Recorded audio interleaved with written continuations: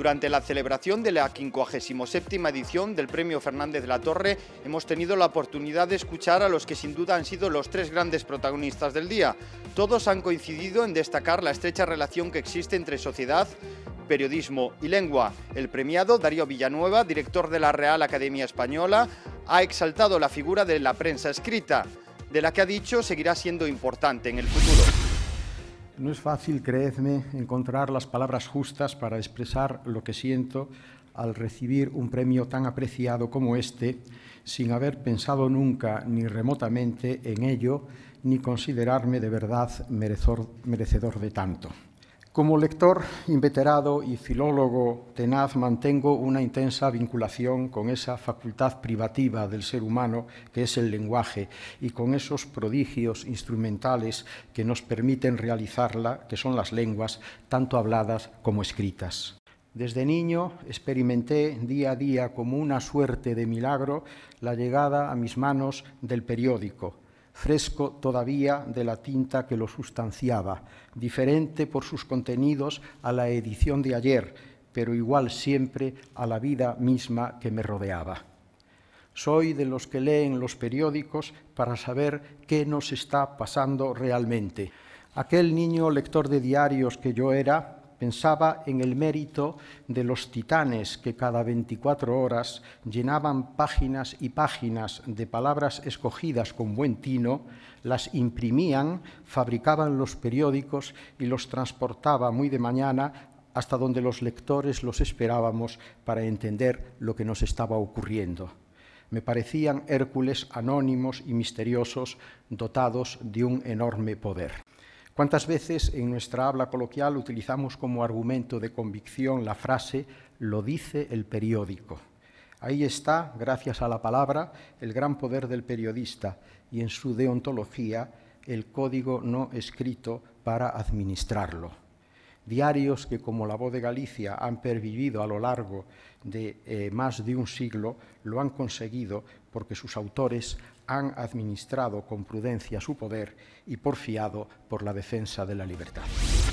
Por su parte, el presidente y editor de La Voz de Galicia, Santiago Rey Fernández La Torre, tuvo palabras de agradecimiento para su majestad. Destacó su papel como monarca y su carácter conciliador. También se mostró satisfecho porque un gallego de proyección universal como Villanueva haya recibido este galardón. Yo, que a lo largo de más de medio siglo he tenido la fortuna de asistir a la entrega de casi todas las distinciones que hemos concedido, renuevo hoy la emoción de la primera vez. Siento con el jurado la satisfacción de reconocer a un gallego de proyección universal. Es un orgullo reconocerlo hoy todo su oficio intelectual y, desde luego, su apuesta innovadora al frente de una institución que el sábado pasado, absolutamente joven, cumplió 301 años. La innovación, tan altamente valorada por Su Majestad, es la clave del futuro. En la voz de Galicia ha sido y es nuestra divisa, nuestro ariete, nuestra fuerza. Es cierto que el periodismo vive hoy su gran encrucijada. No faltan dificultades e incógnitas sobre su evolución. Pero el buen periodismo es y será la herramienta indispensable de la convivencia. En tantos años que llevo como editor, he impulsado siempre el mismo objetivo, abrir las páginas, las cámaras, los micrófonos a la pluralidad, a la deliberación, al pensamiento positivo, al diálogo. Yo coincido con Su Majestad y con todos ustedes en la necesidad imperiosa que tenemos de entendernos. Si construyésemos puentes, en lugar de levantar barreras, no asistiríamos desalentados al drama insoportable de los refugiados que huyen de la guerra y encuentran el portazo de Europa. Refrendar la Constitución hace casi 37 años fue la mayor inversión en paz y futuro para España.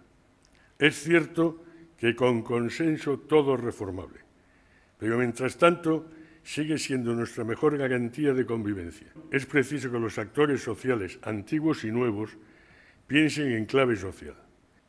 Tomamos de Su Majestad el ejemplo de dedicación y servicio, la confianza firme en que todos los obstáculos se pueden remover y, desde luego, la convicción profunda de que el futuro que despega a España ha de ser siempre mejor. Ve una nítida representación de la Gran Galicia y de la Gran España. Y viene de nuevo a mi pensamiento una palabra perfecta. La palabra esperanza. Su Majestad el Rey destacó el papel que la voz de Galicia lleva jugando desde 1882. Don Felipe aseguró que se trata de uno de los mejores ejemplos de relación entre un medio y su territorio. Además, alabó la calidad periodística de esta cabecera.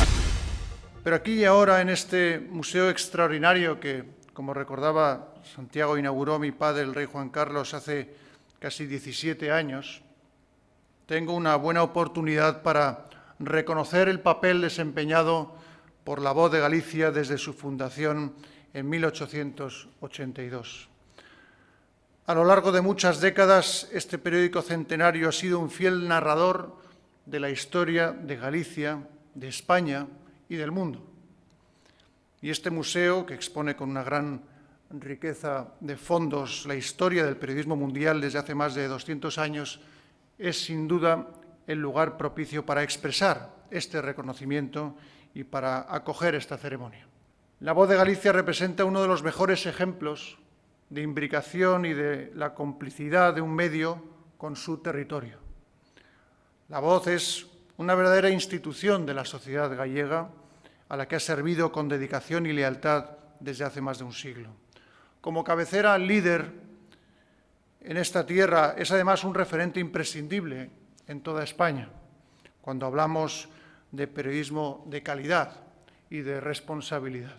Pero esta institución no solo representa un ejemplo de periodismo bien hecho, que ha sabido innovar en tecnología, en materia de contenidos y de modelo de negocio, sino que también es un modelo de responsabilidad social empresarial a través de la Fundación Santiago Rey Fernández de la Torre. Efectivamente, es una distinción muy bien merecida por los extraordinarios méritos académicos y profesionales del profesor Villanueva, desde a querida Galicia, admirada por todos os españois pola súa riqueza cultural e lingüística propia, réndese hoxe con xenerosidade e grandeza unha homenaxe singular á lingua de todos os hispanofalantes do mundo.